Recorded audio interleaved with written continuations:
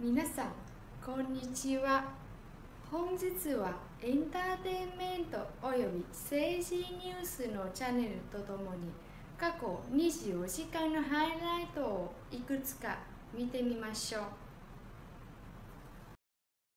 閑散としている週末昼の別府温泉街、韓国人旅行者を十数人も乗せ、いつも店内を賑わせていた貸切バスが一台も来なくなり、売り上げは大打撃を受けています。悲痛な叫び声を上げるのは、大分県別府市のショッピングセンター、夢タウン別府の職員だ。異変が始まったのは、7月。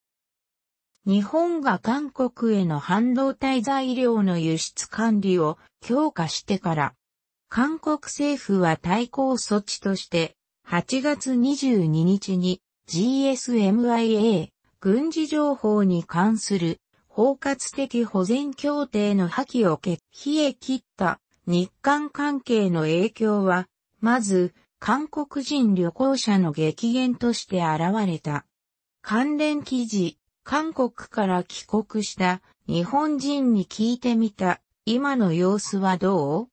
今まで大人気だった。地獄巡りの団体バスツアーがなくなりました。市内には宿泊客の7割を韓国人が占めるホテルも多くあるのに、別府市、ホテル経営者というから自体は深刻だ。うつしうつし丸が別府に向かうと、週末の昼にもかかわらず、温泉街には人通りがない。地元商店からは、体感で来店客が半減したという声が多数。売上の減少額は？産出中という店がほとんどだった。九州は地理的な近さから多数の韓国人旅行客が訪れる。2019年3月に国土交通省が発表したデータでは、2018年1年九州を訪れた外国人観光客の約半数は韓国人だ。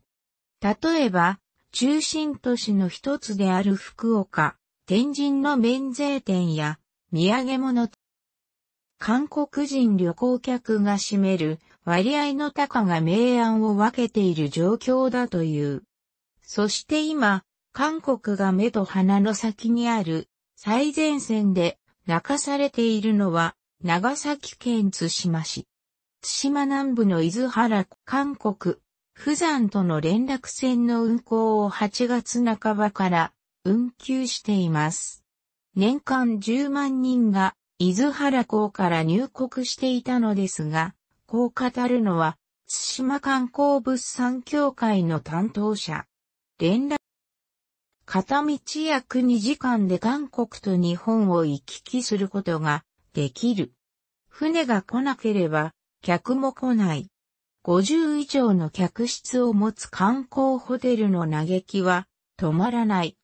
現在、韓国人の宿泊客はゼロです。7月頃から団体客のキャンセルが増え、8月からは韓国からの予約自体がなくなりました。この数年ほぼ満室だったのですが、現在は7割が半年間は回復しないだろうと覚悟しています。港では打撃を受けた観光ホテルに魚を下ろす漁業関係者にも影響が出ているという。一方、対馬のタクシー運転手、韓国人旅行者たちの本音を知っている。ある韓国人のお客さんが教えてくれました。彼らも本当は対馬に来たいんです。片道数千円で海外に行けるわけですから。でも周りの目を気にしてやめています。周囲の目が気になるのは日本一のコリアンタウン、東京、新大久保でも同じようだ。今のところ商売に影響はありません。ただ、政治の話は街全体でタブーになりつつあります。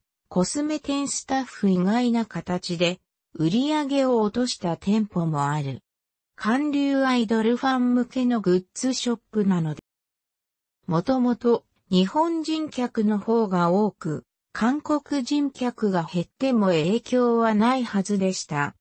しかし、グソマヤに関するニュースが長日本人の客まで3分の1に減ってしまいました。グッズショップ店員、うつしうつし丸が新大久保に足を運ぶと、金曜日の夜にもかかわらず、メインストリートは閑散として日本人客が相手なので影響なしという回答もある一方、取材拒否の店舗も多い。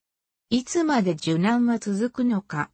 別府からは、恨み節も聞こ、台湾や中国の観光客を呼び込もうと、対策している最中です。